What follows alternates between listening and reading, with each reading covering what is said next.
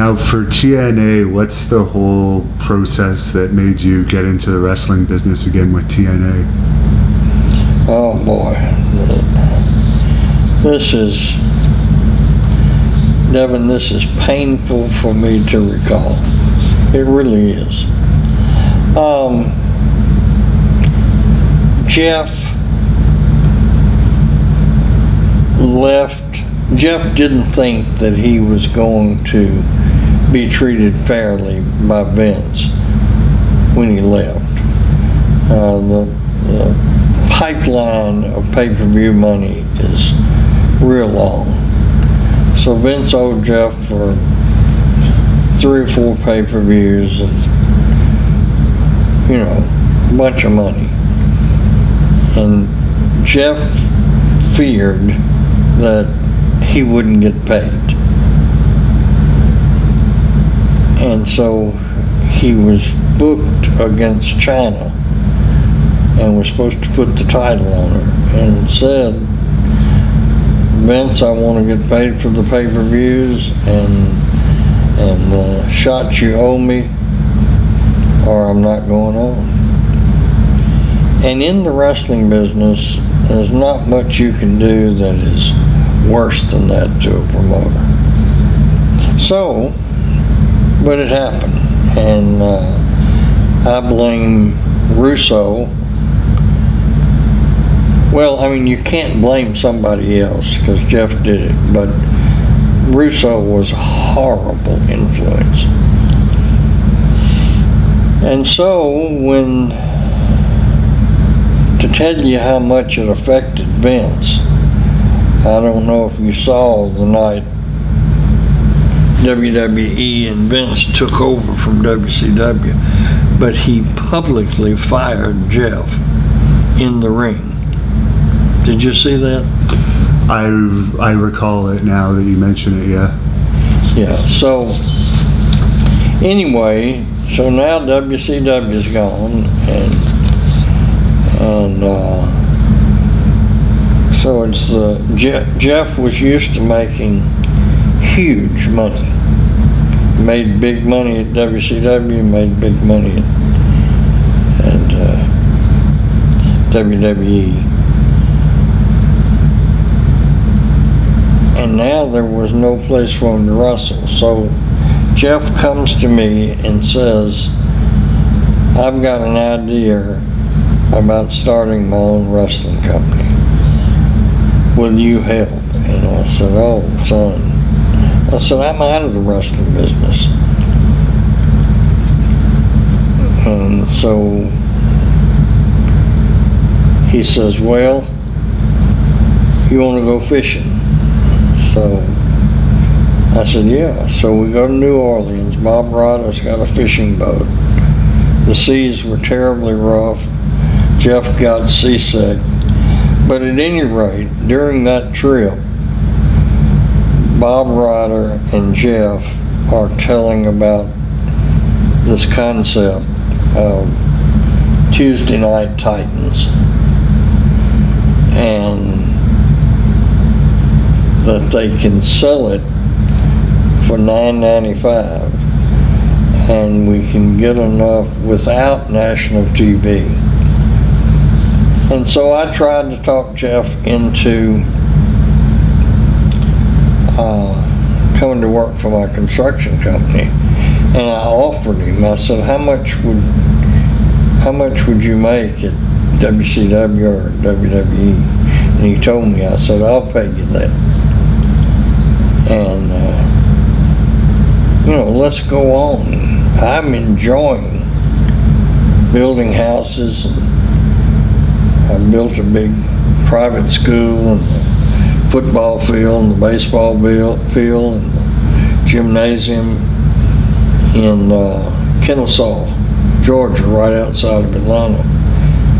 And had some really nice projects in the works. Uh, one of the biggest churches in Atlanta. Uh, we had the contract there.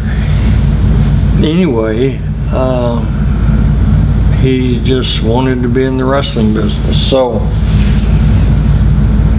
he told me how much money he needed and So I agreed. And uh, I think, and I understand why Jeff did it because that was his experience. And he couldn't hire people from WWE, but the losers at WCW were all out of work. So he was able to hire all them. And he just filled up TNA with all these people that I just thought were, you know, and I would talk to him and I would say, why would you hire somebody? A collection of people that had failed in their promotional effort. And I guess it's because it's all he knew was, or thought that's all he could get. But one of the guys he hired that was in charge of syndication is what really broke us because he had us buy TV ads in towns that didn't have access to pay-per-view. And so one day the uh, one day the pay-per-view guy came and said, you know, all these numbers are bogus. He's lying to you. And so we were, all of a sudden we realized that we broke, or, or near broke. And uh, Jeff got a contact with um, HealthSouth, Richard Scrushy, a nice man that I really like. But everything went good for a while, and then darn if Richard didn't uh,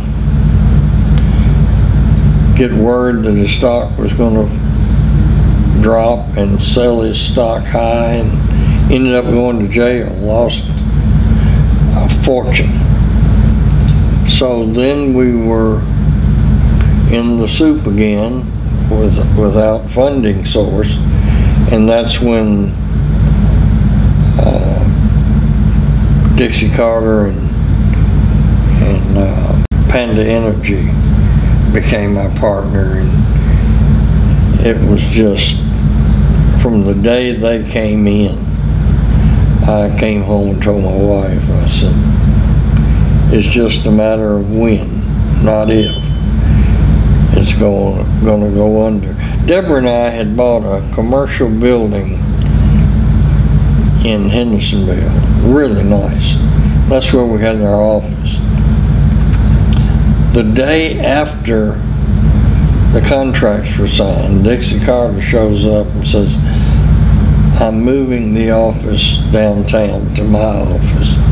And I said, Dixie, what? Deborah and I bought this building for the wrestling. She said, well, sell it. So, How did she even become involved in the first place? because her daddy was Panda Energy. But did you guys reach out to Panda Energy looking for someone to sell, or did they reach out to you? or- No, we, we were looking for an investor to take Richard Scrushy's place Okay. Because this guy, and I can't remember his name, hopefully he's went to prison somewhere, but you know, we were looking for an investor and and Jeff had known Dixie from the Dallas days. Come to find out, Dixie had an apartment the same complex where I had my apartment there. And uh, Jeff and Dixie had met back then. And so Jeff hired her as something to do with promotions. And I, I deferred to Jeff on just about everything with TNA because of the George Gulas, Nick Gulas fiasco. I didn't want for Jeff to be the the son like in Smokey and the Bandit. Right. So I, I deferred to him and, you know, when you look back, maybe I should have interjected myself more. Um, I don't know. It's a, it's a very, very painful number to me. During the course of all of it, it- I had a massive heart attack, triple bypass surgery. And so I can tell everybody that's looking at this, stress will kill you. And it's the most stressed I've ever been in my life. Uh, and that's saying a lot spent your li- whole life in the wrestling business. When you're running seven towns a week or 14 towns a week, and that's the most Nothing compared to that kind of stress. And- So, um, Dixie and I, we didn't get along from day one uh, to the extent that when she moved downtown, uh, I stayed out there and just had my construction office in the building for my construction company. And I never took an office downtown.